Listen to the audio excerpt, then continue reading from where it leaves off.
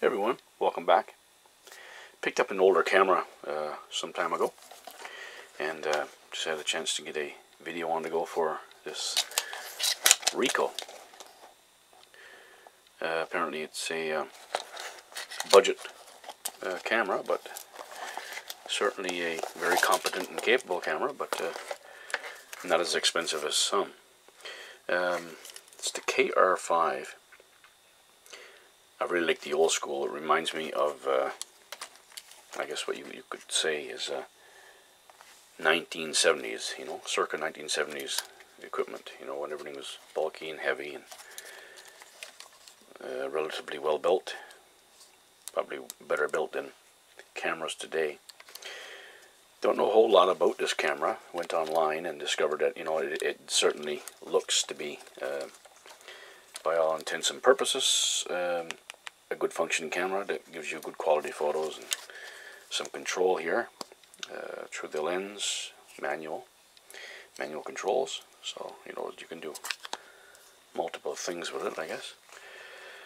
Um, it takes a battery and I think it's in the bottom here. It's a special I believe it's a special battery. It's odd that the, the case, kind of, you got to look at it upside down to see the word Ricoh, because if you look that way, it looks like something different, but that's how the camera goes in. I don't know why it got printed backwards, but anyway, I'm just going to go have a look at the, uh, take off this other leather casing here, if I can. And it takes a um, small battery in here. Um,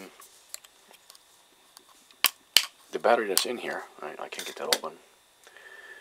Now I can't get it open, I had it open. Uh, the battery that is in here, put this down,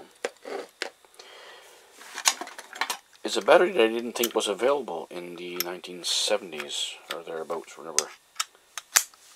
So uh, I'm just going to go back in here now to, to verify what it is. Um, I picked up several cameras actually. I just wanted to uh, do this one because this was kind of the most interesting one that I see. There you have the, uh,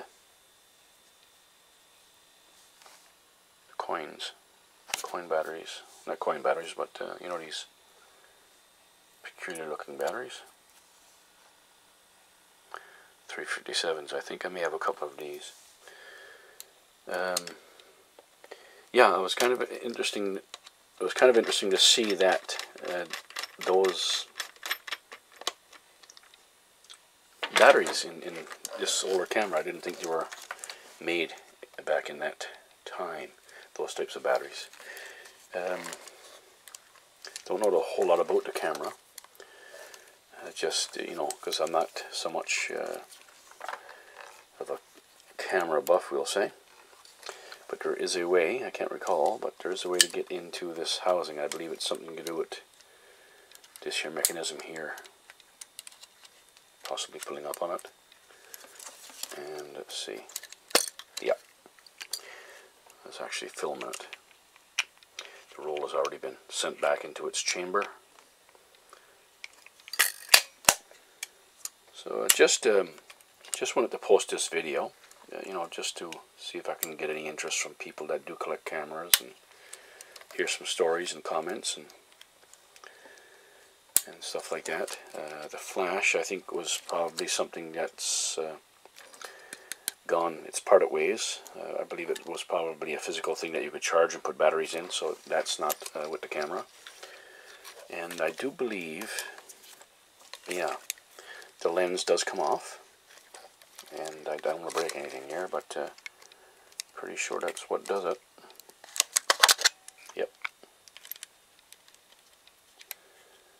However, that little mechanism locks it. Cool. Red on red to lock it, I guess. I see that point now, point to point. There you go. Little red markings. So anyway, not going to, uh, again, once again, be, you know, uh, blabbering on about the camera and uh, just interested in uh, getting some feedback on these uh, this camera. I have a few others, but they're newer, kind of newer cameras, and uh, probably, you know, uh, not as interesting as this. And I also picked up um,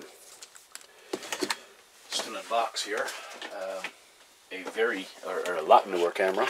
Um, it is the Sony CyberShot DSC-H200. It's uh, everything complete in box. Camera was used, so you know it's not. I should say I shouldn't say new in box, but uh, used, but uh, used probably a few times and then stored. It's, it's like new, so uh, probably take that out some other day and have a look at that. I don't, I don't know if there'd be much interest in uh, in the newer cameras, but like I like I say, being a person that likes uh, old school things, uh, you know, antiques and stuff like that. That's the reason why I wanted to uh, drop in to YouTube today and just uh, touch on this camera and see if I can spike some interest and you know learn a bit more about it. Certainly, uh, very well made.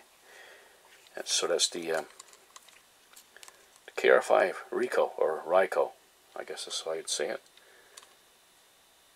And uh, yeah, please comment. Thanks for watching and uh, have a great day.